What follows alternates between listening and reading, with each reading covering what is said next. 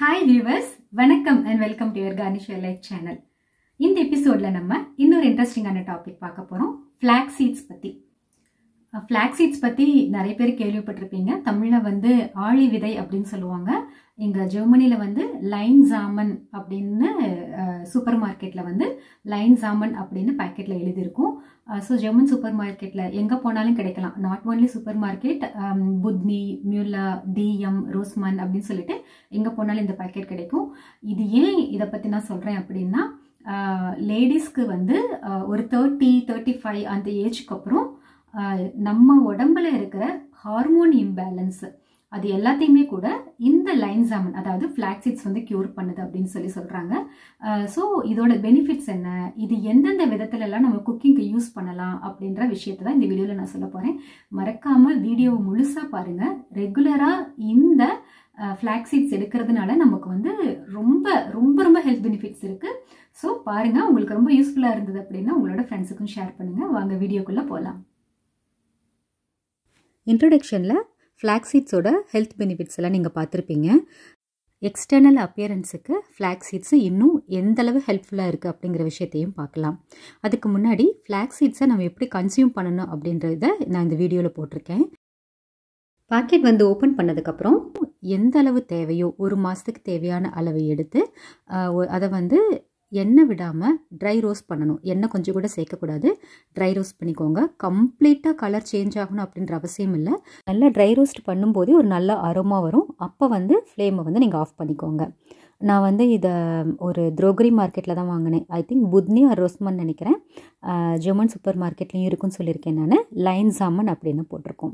சரியா? இப்போ வந்து இது ட்ரை ரோஸ்ட் பண்ணியாச்சு. ஒரு பிளேட்டில் வந்து இதை நல்லா மாற்றிக்கிட்டு சூடு ஆறுனதுக்கப்புறம் தான் நம்ம ஜாரில் போட போகிறோம் அப்புறம் இதோட எக்ஸ்டர்னல் பெனிஃபிட் இருக்குது அப்படின்னு சொல்லியிருக்கேன் இல்லையா? ஸ்கின்னுக்கு வந்து ரொம்ப ரொம்ப நல்லது. நம்ம வந்து இந்த பவுடரை வந்து தண்ணியில் போட்டுட்டு ஒரு ஹாஃப் அன் ஹவர் கழித்து ஃபேஸுக்கும் ஹேருக்கும் கூட இதை மாஸ்காக போட்டுக்கலாம். இதில் இருக்கிற நியூட்ரிஷன்ஸ் வந்து ஸ்கின்னை வந்து க்ளோவாகவும் வச்சுக்கும் ரொம்ப ஹெல்த்தியாகவும் வச்சுக்கும். நான் வந்து ஆல்மோஸ்ட் ஒரு ஃபைவ் இயர்ஸாக வந்து ஃப்ளாக்ஸிட்ஸ் ரெகுலராக கன்சியூம் பண்ணிக்கிட்டு இருக்கோம். என்னோடய ஃப்ரெண்ட்ஸ் சர்க்கிளில் இருக்கிற நியூட்ரிஷியன்ஸ் அப்புறம் டைட்டிஷியன்ஸ் எல்லாம் இருக்காங்க இல்லையா? அவங்க கிட்ட நான் டிஸ்கஸ் பண்ணிட்டு தான் இதை நான் ஃபாலோ பண்ண ஆரம்பித்தேன் எனக்கு ரொம்பவே ஹெல்ப்ஃபுல்லாக இருக்கிறதுனால சரி இப்படி ஒரு வீடியோ நம்ம ரெடி பண்ணி போடலாம் அப்படிங்கிறதுனால தான் இதை நான் போட்டுட்ருக்கேன். இது எந்தெந்த விதத்துலலாம் யூஸ் பண்ணலாம் அப்படிங்கிறத பார்க்கலாம். முன்னாடி நம்ம சொன்ன மாதிரி ட்ரை ரோஸ்ட் பண்ணிவிட்டு ஆற வச்சுட்டு மிக்சி ஜாரில் போட்டுட்டு அதை பவுடர் பண்ணி வச்சுக்கோங்க. ஃப்ளாக்ஸிட் ஆயில் வந்து முகத்துக்கும் யூஸ் பண்ணலாம். பிம்பிளை வந்து நல்லாவே குறைக்குது. இப்போ இதை வந்து பவுடர் பண்ணியாச்சு. இந்த பவுடர் பண்ணதை வந்து எப்படியெல்லாம் யூஸ் பண்ணலாம் அப்படிங்கிறத நான் சொல்கிறேன் நம்ம வந்து இட்லி பொடி அதாவது சட்னி பவுடர் இட்லிக்கு தோசைக்கு சாம்பார் பொடி எல்லாமே வச்சுருக்கோம் இல்லையா?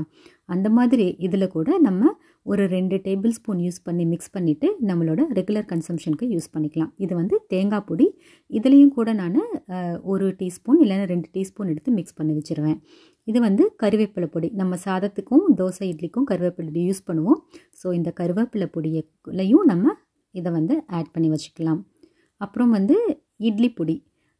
இது சாரி இது வந்து பெருங்காய பொடி. இதுவும் இட்லிக்கு தொட்டு சாப்பிட்றது தான் இதுலேயும் கூட நீங்கள் ஆட் பண்ணி வச்சுக்கலாம்.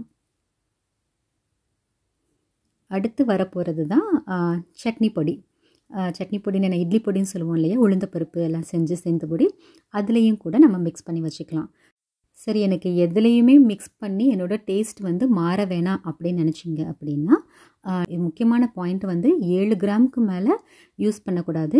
அளவுக்கு மிஞ்சினால் அமிர்தமும் நஞ்சு அப்படின்னு சொல்லுவாங்க இல்லையா? அந்த மாதிரி தான். ஸோ இதை வந்து ரெண்டு மூணு டேபிள் ஸ்பூன் டீஸ்பூன் கேர்டில் வந்து மிக்ஸ் பண்ணிவிட்டு அப்படியே கூட நம்ம சாப்பிட்டுக்கலாம். இது வந்து எந்த பவுடர்லேயும் கலக்காமல் ஜஸ்ட்டு ஃப்ளாக்ஸீட் பவுடர் கேர்டோட மிக்ஸ் பண்ணி சாப்பிடலாம். கிட்ஸுக்கு வந்து எனக்கு இப்படியே சாப்பிட்டா பிடிக்காது அப்படின்னு சொன்னாங்க அப்படின்னா அதோட நாட்டு சர்க்கரையோ இல்லைன்னா லைட் சுகரோ போட்டு கூட மிக்ஸ் பண்ணி சாப்பிடலாம். நான் என்ன பண்ணுவேன் அப்படின்னா மத்தியானம் லஞ்சுக்கு சாதம் சாப்பிடும்போது கேர்ட் ரைஸோட இதை ஒரு டீஸ்பூன் போட்டு மிக்ஸ் பண்ணி சாப்பிடுவேன் ரொம்ப முக்கியமான விஷயம். இது வந்து அளவாக தான் சாப்பிடணும் அப்படின்னு சொல்லியிருக்காங்க. ஒரு விஷயம் நல்லது அப்படின்னா அதை ரொம்ப ஓவர் கன்சியூமும் பண்ணக்கூடாது. அதனால் பார்த்து அளவாக சாப்பிடுங்க. இந்த இன்ஃபர்மேஷன் எல்லாம் உங்களை ஆரோக்கியமாகவும் அதே சமயம் இளமையாகவும் வச்சுருக்குன்னு நம்புகிறேன் என்ன வீட்டில் இருக்கிற எல்லா பொடியும் தானே தேடிட்டு இருக்கீங்க? ஆமாம் உங்களோட குக்கிங்க்கு யூஸ் பண்ணுற எந்த பொடியில் வேணாலும் இந்த மாதிரி மிக்ஸ் பண்ணிவிட்டு ரெகுலர் இன்டேக்காக நம்ம எடுத்துக்கலாம்.